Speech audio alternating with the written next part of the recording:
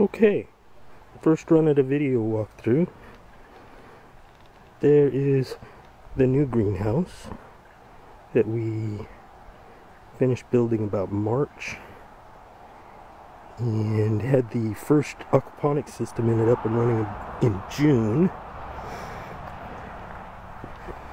Walk around to the north side where we've got the IBC tanks.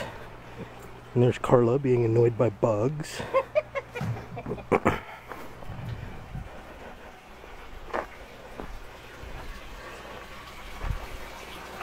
this end is the sump with an outside grow bed on it. You can see the drain line coming back.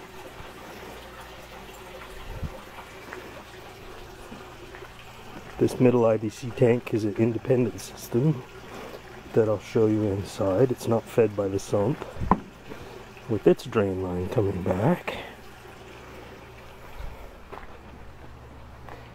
And up here we have the fish tank that is fed by the sump by a set of uh, float switches in the sump and in this tank because it's too high to gravity feed back to.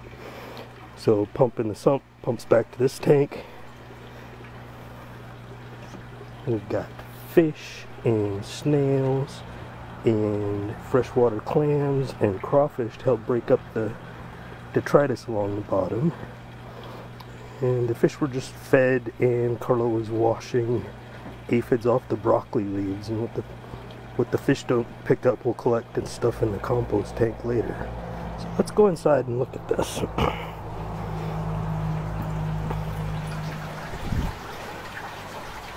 really hard to get good footage because of the narrowness of the greenhouse. Compost 55 gallon drum I just put in yesterday to hope to squeeze some heat out of the place. Our demonstration system so that when we have visitors we can show it with a fish tank timer and a grow bed and a drain and that's just how simple it is in the work area, which is all cluttered up, with Carla's backside. And then back to the west end of the greenhouse. One of the vertical grow bays. We've got cherry tomatoes and cucumbers going crazy in here. And various leafy greens and onions and, and tempted carrots and whatnot. Another vertical grow stack here. Brussels sprouts, cucumbers. Uh, I think those are scarlet runner beans. And this is the new system from the center IBC tank that we just brought online last weekend.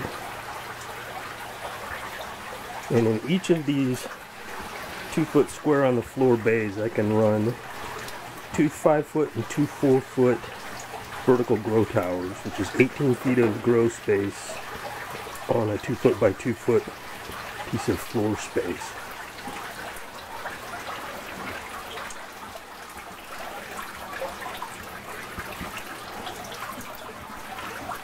And there's the last one. And the sink. The sink is plumbed out of the sump tank with a hose drain that I can run either back to the sump tank or over to the blueberries and plants or just out in the pasture depending on what goes into the water. And there you have it.